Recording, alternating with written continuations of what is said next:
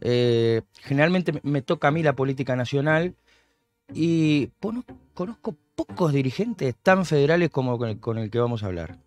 Que realmente eh, en todo momento, eh, desde su carrera como economista en el privado y cuando empezó a aparecer en los medios, transformándose en una figura de los mismos, como candidato a presidente, como candidato a diputado, como diputado, siempre José Luis Espert atiende a todos los medios del país.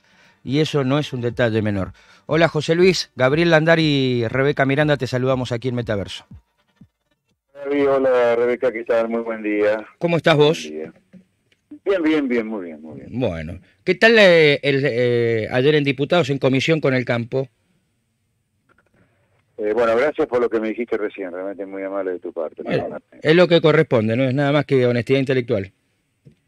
Mira, con el campo no fue muy bien, eh, ya lo dije en todos lados y lo repito una vez más, lamento que el conchero haya podido más que la necesaria unidad de la oposición para mostrarle algo diferente a la sociedad. Me decepcionó mucho que habiendo acordado un horario previo para que toda la oposición junta recibiera al campo, después cada uno de golpe, 12 horas antes, quisiera tener su reunión privada y por lo tanto se descalibró toda la agenda, fue un desastre en algún lugar la agenda, pero bueno, eh, es increíble, ahí es donde entiendo la gente que se quiere tomar el buque del país, porque la oposición está casi toda unida en las defensas de, las quejas, de los derechos del campo, de cómo el campo es perseguido. O ahí hay comunión de ideas y de intereses en la oposición y sin embargo ni siquiera se pudo mantener un horario acordado para que toda la oposición junta recibiera el campo, sino que cada uno quiso tener sus cinco minutos de fama. Esto lo digo porque, viste, cuando después nos preguntamos por qué nos va mal los argentinos, sí, mira, si ni siquiera lo que estamos de acuerdo en algo, después no es que no nos pusimos de acuerdo, después de haber acordado el horario, empezaron cada uno a tomarse el buque para tener su su reunión a solas con la mesa de enlace, viste, la verdad que el deseo de figurar de Marquesina puede más que cómo está hecho mierda todo en Argentina. Lamentablemente es así, es muy triste, muy triste. Mm. Y además mi bueno, sobre la reunión con el... Sí, ¿eh? sí, no, continúa José Luis, por favor.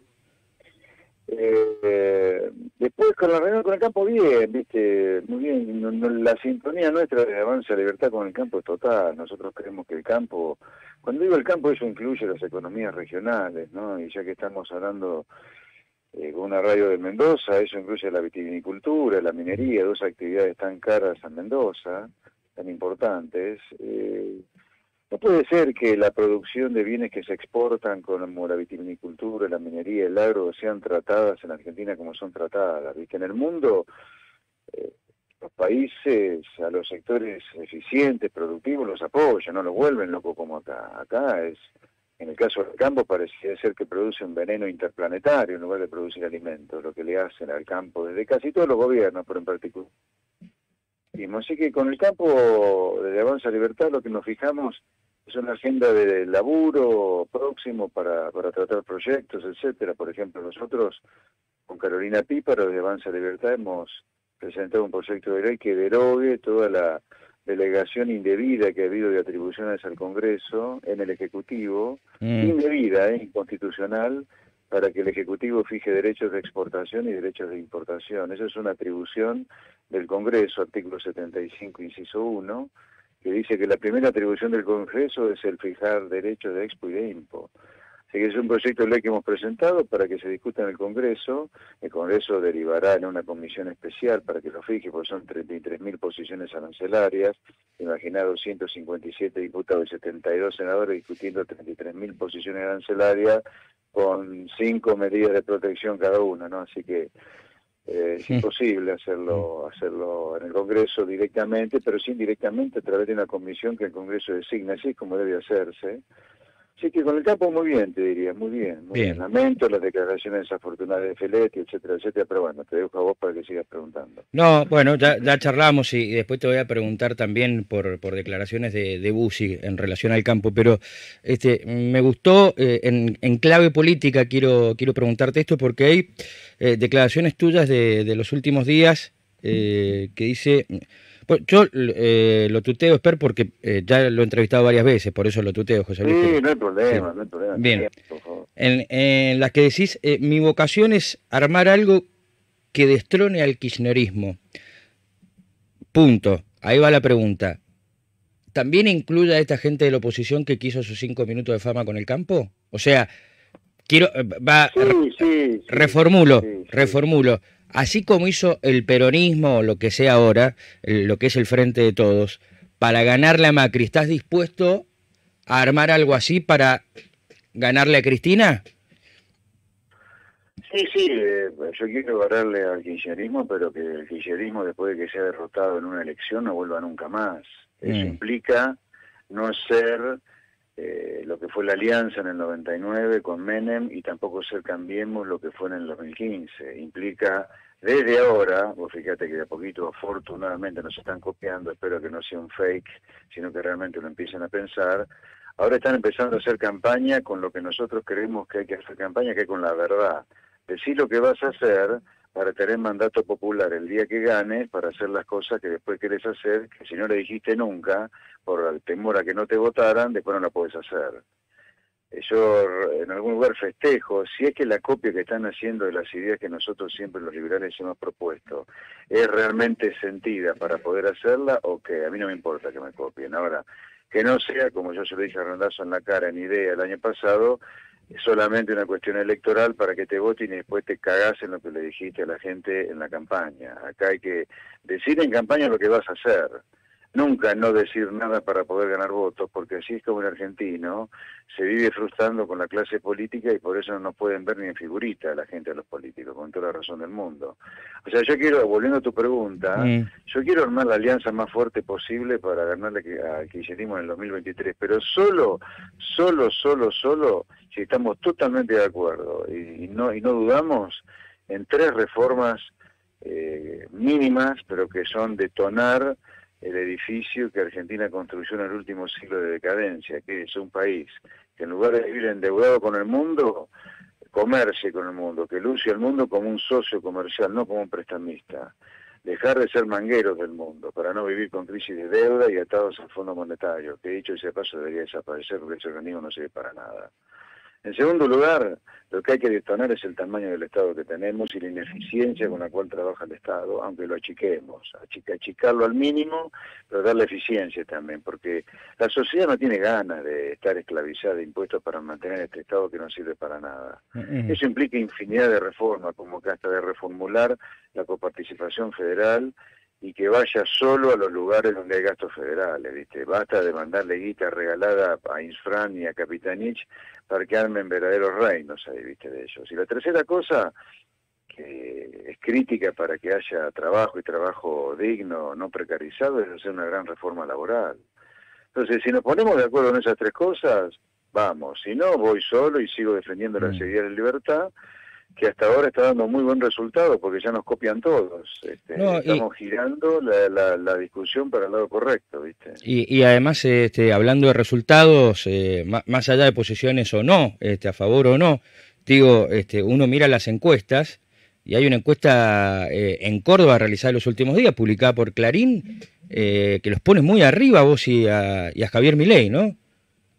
Sí, sí, por eso. Mira, y, ese y, ese- y eso lo hemos logrado caminando solos. Este, así que, por lo tanto, evidentemente, el camino de seguir levantando la bandera del sentido común de las cosas que hay que hacer, o sea, de la libertad en definitiva, Mm, es lo que más importa, mucho más que acuerdos de cúpula para ganar una elección. Acá lo que hay que defender, aquellos políticos que nos preciamos de querer cambiar el país y no vivir de la política, sino usarla para cambiar el país en beneficio de la gente de mérito, de esfuerzo, de trabajo, de estudio, eh, bueno, la tenemos que seguir enarbolando solos. Si detrás de ella se quieren columnar quien sea, pero bienvenido. Lo que no, lo que nosotros, al menos de Avanza Libertad, vamos a hacer es meternos en acuerdos de cúpulas que prostituyan las ideas que nosotros defendemos y que son las que dieron sentido a este revivir del liberalismo que comenzó en el 2019 con la, con la candidatura presidencial mía después de 30 años que nadie hablaba de liberalismo acá, de frente a la Cámara una presidencial, quiero decir, ¿no? Sí, tal cual. Eh, estamos hablando con José Luis Esper, por supuesto. Eh, Yo creo que debes estar un poco cansado que te pregunten por Milei, debe hacer como Alberto por Cristina, ¿no? Si se siente, se lleva bien con Cristina o no. Este, así que lo que quiero preguntarte son ideas. Eh, Milei habló de, dolarizar la economía, habla de dolarizar la economía. Eh, ¿Qué pensás vos en relación a eso? Mira, la dolarización tiene que ser la frutilla del postre para aquellos que están con ganas de dolarizar, pero nunca la punta del ovillo. ¿Qué mm. quiero decir con esto? Que para que una dolarización funcione, y acá no me pongo a discutir si está bien o está mal, estoy de acuerdo o en desacuerdo, tenés que hacer las mismas cosas que para que el peso funcione. Entonces, si tenés que hacer las mismas cosas, en los dos casos, dolarizando, especificando, hacer las cosas que tenés que hacer, que son las tres que te nombraba antes. O sea, todos los experimentos monetarios para intentar tapar los problemas reales que Argentina tiene de falta de competitividad, economía cerrada, estado elefantiásico, leyes laborales pernícolas, eh, han demostrado que esos problemas reales te derrumban cualquier régimen monetario que vos tengas, dolarización, precificación, convertibilidad. El problema están los problemas reales, estos que son los que te acabo de nombrar, que son los que causan los desequilibrios monetarios y la ineficiencia con la cual trabaja la economía. Así que, por lo tanto, eh, creo que hay que invertir el orden de las cosas. Primero, solucionar los problemas reales, dado que vos tenés que solucionar esos problemas reales para que funcione una dolarización o el peso. Mm.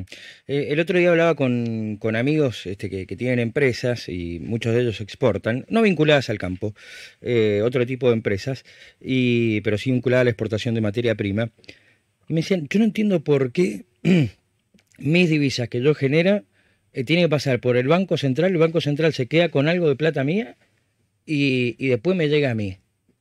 Eh, ¿Hay que cerrarlo al Banco Central? Bueno, cerrarlo es dolarizar, volvemos a lo mismo. Mm. Porque acá, si querés tener Banco Central, lo que tenés que darle, no sé por qué tenemos esa cosa atravesada en la cabeza, que los dólares son de los argentinos o del Banco Central o del gobierno. Los dólares son de los tipos que los generaron. Así que yo, si fuera presidente del Banco Central, pero que dispongan libremente de la divisa que generaron exportando y que hagan con esa divisa lo que se les antoje. Libertad absoluta para que la gente haga con su plata la ganada de buena fe, laburando, invirtiendo, produciendo, pagando salario, invirtiendo en tecnología, pero mira si le va a obligar a liquidar la divisa al tipo de cambio oficial, que encima, una vez que lo vende al tipo de cambio oficial, ya le está quitando el 50% al tipo que exportó, porque vende a 100 groseramente y después si quiere tener dólares lo compra a 200. No, no, libertad absoluta para que la gente haga lo que quiera con la plata. Esto va en general en particular sobre tu pregunta, pero por supuesto que tiene que desaparecer el control de cambio y libertad cambiaria absoluta. Mm. Eh, José Luis, eh, un, par de, preguntas más y, te dejamos tranquilo. Sí, eh, Milei ya habló de, su candidatura presidencial, que se está preparando, está armando un gabinete en las sombras. Pues ya fuiste candidato a presidente. Yo creo conocer la respuesta, te he entrevistado mucho, como has dicho yo, puedo trabajar fuerte eh, en este rol que me toca hacer, que, es diputado, y, tratar de solucionar los problemas de la gente. ¿Pero no pensás un poquito de reojo en el 2023? Sí, claro. A ver, vos decís, eh, ¿te gustaría ser presidente? Sí. ¿Sueño con ser presidente? Sí.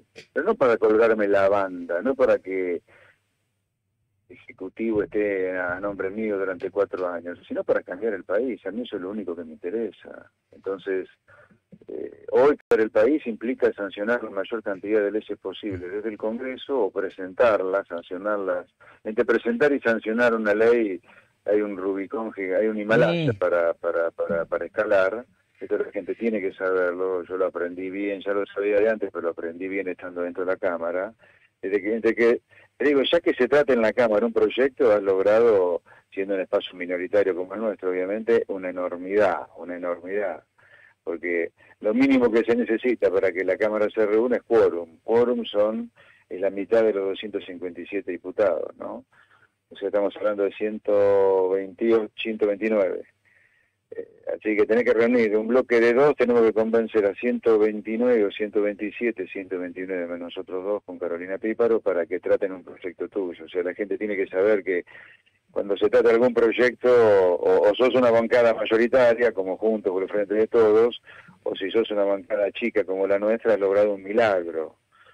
Eh, entonces yo estoy muy ocupado de eso, pero sí, quiero ser presidente, pero por supuesto que sí, eh, pero para cambiar el país, no para colgarme una banda, una banda este, con todo lo que mm. significa colgarse la banda. A mí me interesa, yo me metí en política estando muy cómodo en mi actividad profesional, a la cual le metí una gran pausa para cambiar el país. Eso se puede hacer en infinidad de lugares, no necesariamente colgándote una banda. Pero si quiero ser presidente, sí, claro. Ahora, me, me dejas una pregunta personal. Si ya siendo diputado Mechi te ve poco, ¿se va a bancarse que sea presidente también? Bueno, en campaña Mechi y mi esposa, ¿no? Que haremos la Sí, claro. Mi esposa es que es un sol, es un sol. Eh, en campaña Mechi me decía, che, escúchame, te vamos más por televisión que en casa. es cierto. Pero sin Mechi yo no estaría haciendo lo que hago. Ante todo para mí, ante todo para mí, es ser feliz. Y yo no podría ser feliz sin el apoyo de mi familia y Mechi es un componente central de mi familia. Yo tengo muy claras esas cosas. La felicidad ante todo. La política solo como un medio para cambiar el país. Nada más. Bien, eh, hablando con, con vos en Vendimia, ahí en el, eh, este, en el hotel, en el Hyatt, este, me acuerdo me dijiste, vamos a, vamos a ir eh, con, por todo el país, este, vamos a ir movilizando por todo el país. y, Este, y Mendoza es uno de los lugares por los que vamos a empezar. Este, ¿Ya, ya se le puede poner nombres este, al movimiento creciente o no? No, mira, por ahora sigue siendo Avanza Libertad, mm. como fue en el 2021, el año pasado. Así que por ahora Avanza Libertad es un espacio que en Mendoza comenzó a ser un espacio nacional de cara a las elecciones presidenciales de 2023. Ahora vamos a seguir por Córdoba y Santa Fe y luego seguirán otras ciudades importantes del país también. Mm. Obviamente que nuestra cabecera de playa es la provincia de Buenos Aires, luego de haber hecho una elección histórica para el liberalismo en una legislativa, como fueron los ocho puntitos que sacamos el año pasado, ocho puntos, perdón, que sacamos el año pasado luchando con dos escarbadientes contra todo, contra toda la maquinaria del frente de todos y de Cambiemos. Así que Después de un hito como el del año pasado, sí, sí, vamos a usar a Buenos Aires como cabecera para expandirnos a partir de ahí por todo el país. Bien, eh, José Luis, eh, algunas consultoras dicen ya 5.7, 5.8 para marzo y este, muchos dicen que la inflación es multicausal, otros sostienen que la multicausalidad es un verso, como Melconian. Eh, y vos sostenés que la solución para la inflación ya existe y que la, eh, escribió y la mostró y comprobó un premio Nobel, ¿no? Eh, ¿Qué hacemos con la inflación?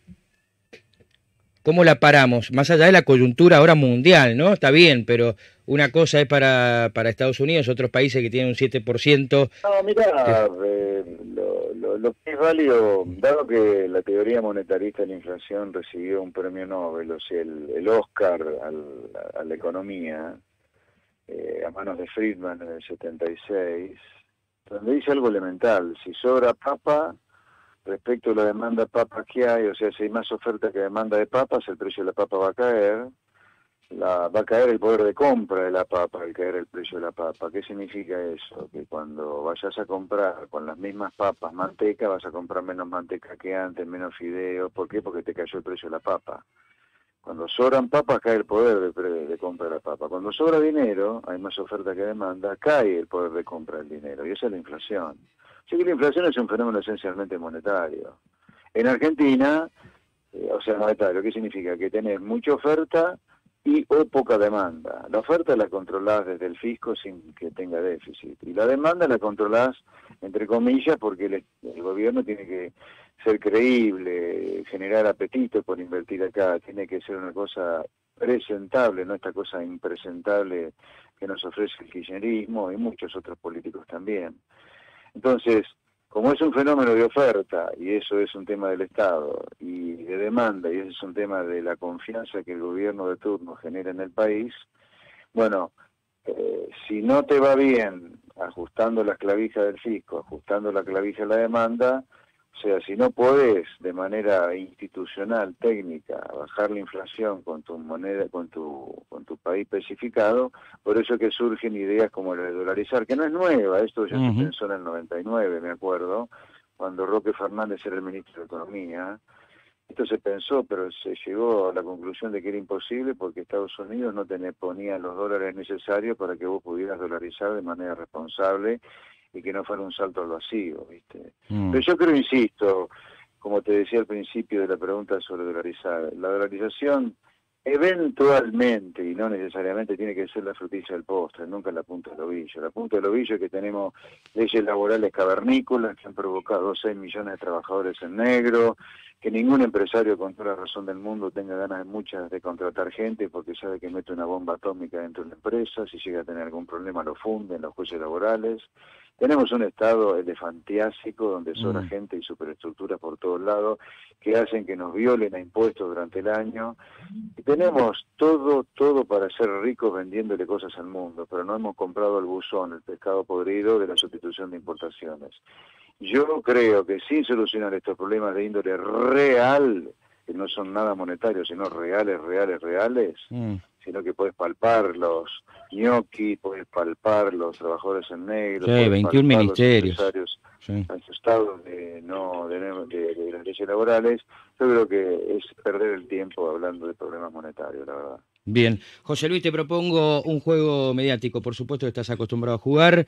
Eh, esto es eh, lo primero que se te venga a la mente cuando te doy un nombre y un apellido, ¿te parece? Y con esto terminamos. Dale. Ah, dale. Eh, Alberto Fernández. Títere. Mauricio Macri. Tibio. Y no le creo mucho todavía. Cristina Fernández de Kirchner personaje político más siniestro desde la democracia. Javier Milei. Eh, un gran, un gran eh, encantador en el buen sentido de jóvenes, eh, para traerlos al lado de la libertad. Horacio Rodríguez Larreta.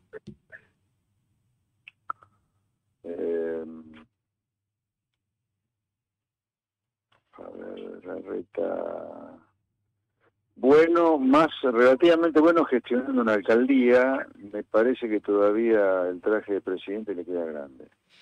Patricia Bullrich. Un gran signo de interrogación. De casi montonera liberal me tiene que convencer mucho todavía. Máximo Kirchner. El, hijo de la, del personaje político más siniestro que, ahí en Argentina de la democracia. José Luis Espert. Un tipo normal, común, que dejó todo para, para, ver si aporta algo para el país. Un tipo que quiere cambiar las cosas, quiere que no seamos una gigantesca villa miseria. El título que, que, me coloque para hacer eso es un problema de segundo orden. El, el, primero es que quiero cambiar la Argentina para que no sea una gigantesca villa miseria. Abrazo grande, José Luis. Muy buenos días, saludos a vos y a los oyentes. Que estés muy bien. José Luis Espert, aquí en Ciudadano News, este, bueno, dejando algunas definiciones, y lo vamos a saludar.